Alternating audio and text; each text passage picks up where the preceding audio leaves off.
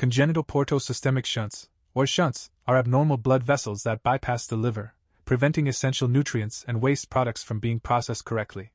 This can lead to a variety of clinical signs in affected cats.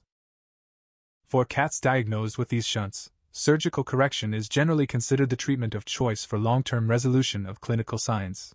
This is because relying solely on medical management often only provides a partial or short term response. That's right. When it comes to surgically correcting these shunts, specifically those located outside the liver, known as extrahepatic shunts, several options exist.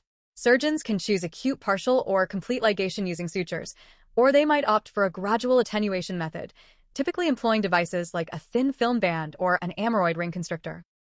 The key advantage of gradual occlusion with devices like these is that it significantly reduces the risk of potentially fatal portal hypertension, a serious complication that can occur if blood flow is redirected too quickly back to the liver.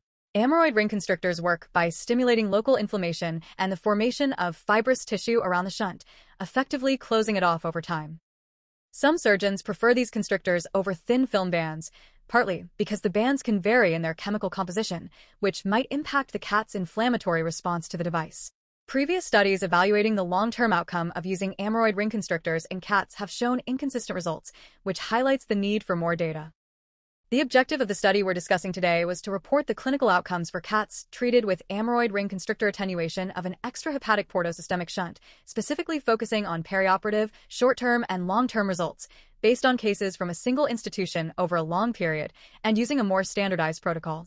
This study provides valuable information, showing that surgical attenuation of extrahepatic portosystemic shunts with an ameroid ring constrictor can effectively resolve clinical signs and biochemical abnormalities in the majority of cats. However, it reinforces that seizures remain a significant concern and may unfortunately persist long term in some cases, even when blood work appears normal.